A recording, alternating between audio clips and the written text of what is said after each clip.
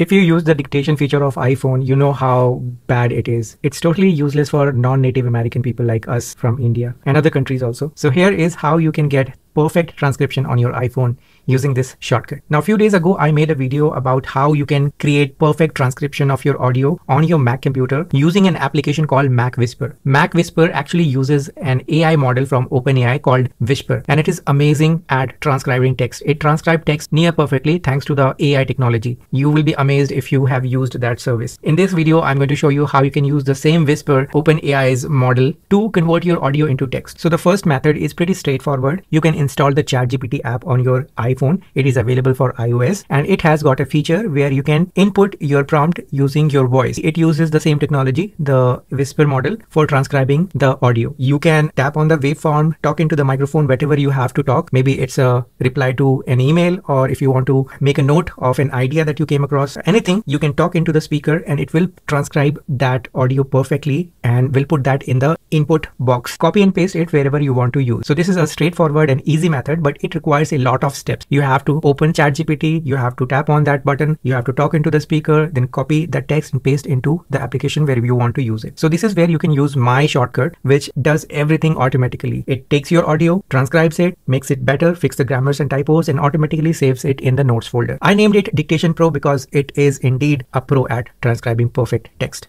So let's see how this works. So I have created this shortcut and I have added it to my home screen, Dictation Pro. You can see it here. When I tap on it, it will give me a prompt to record my audio and I can tap and start recording. Once I'm done recording, I can finish the recording and it takes the recording and gives it to Whisper AI. So let me tap on it.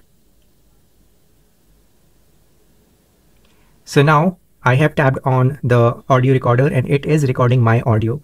And even if even if I speak one word twice, it will understand that it was a mistake and it will remove it from the final output. Even if I take a long pause, it will remove it from my dictation.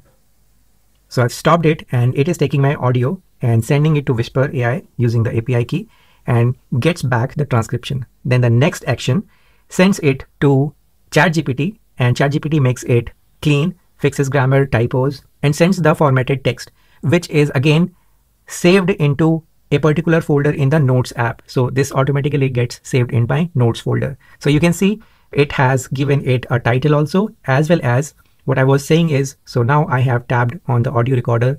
It is recording my audio. Even if I speak a word twice, it will recognize. So remember, I said even if twice, but it did not write it twice. It knows that it was a mistake and we all do that when we are transcribing something. We are not perfect. You can see it is truly a pro feature and it is saved automatically and it is saved in my notes folder automatically. So for example, if I'm on a walk and I get some idea, I can use this to note down my idea. And if I revisit that idea, that note after a few days, I will know what I had written. Previously, when I used the dictation, the native dictation feature of iPhone, it added few uh, words that I didn't even speak and the transcription was not that great. So the Dictation Pro shortcut is your lifesaver and it is going to make you super productive. I don't know why these companies, Apple and Samsung are not incorporating AI into their voice to text features, dictation features. It would be awesome. Maybe Apple would be improving their dictation feature and the keyboard by incorporating AI into their devices and hopefully in iOS 17, which would be available publicly after a few months. But for the time being, you can use this dictation feature. You can find the shortcut link in the description this video. You can download it from there. And the only thing you need to do after downloading it is to get your own API key. So I have created a text into this shortcut, which calls another shortcut, which has got the API key. So you can create a shortcut having the text action and put your API key into it and then attach that shortcut so that it can call that API key